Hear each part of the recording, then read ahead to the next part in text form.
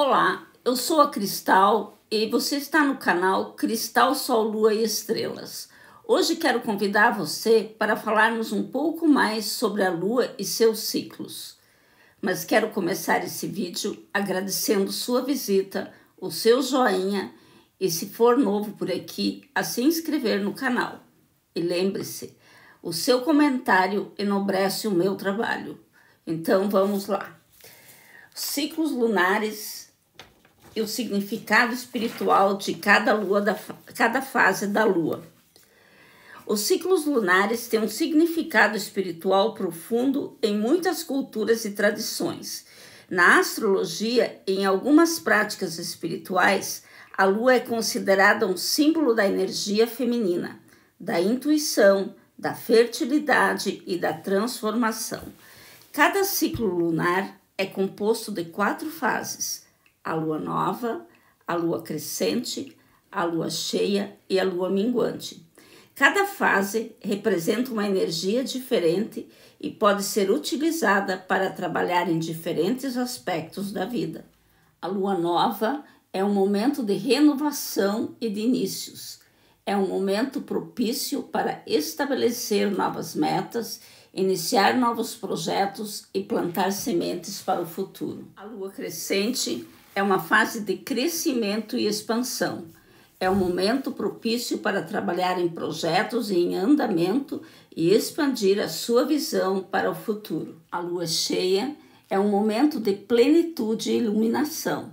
É um momento propício para celebrarmos conquista e colhermos os frutos de projetos iniciados anteriormente. E então a lua minguante finalmente chega e temos a fase da reflexão e da soltura. É um momento propício para deixar ir o que não serve mais, liberar hábitos ou padrões que não estão mais alinhados com os seus objetivos e preparar-se para um novo ciclo. Trabalhar com as fases da lua pode ser uma forma poderosa de nos conectarmos com a energia da natureza e aproveitarmos ao máximo cada fase do ciclo lunar. Muitas tradições espirituais também utilizam as fases da lua para realizar rituais de cura, limpeza e transformação.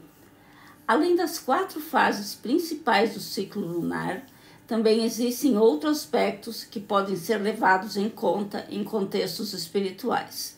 Por exemplo, as luas azuis ocorrem a cada quando há duas luas cheias em um mesmo mês. E elas são consideradas um momento de amplificação de energias e uma oportunidade para manifestar intenções com mais poder.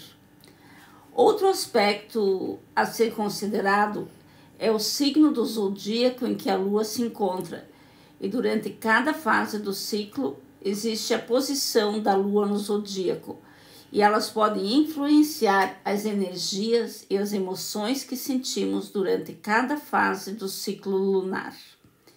Em muitas tradições espirituais, também é comum fazer oferendas e trabalhar com cristais, ervas e outras ferramentas durante cada fase do ciclo lunar, com o objetivo de amplificar as energias e intenções que se deseja manifestar. Em resumo, os ciclos lunares possuem uma grande importância em contextos espirituais, pois elas permitem nos conectarmos com a energia da natureza e utilizarmos essa energia para manifestar as nossas intenções e transformarmos as nossas vidas.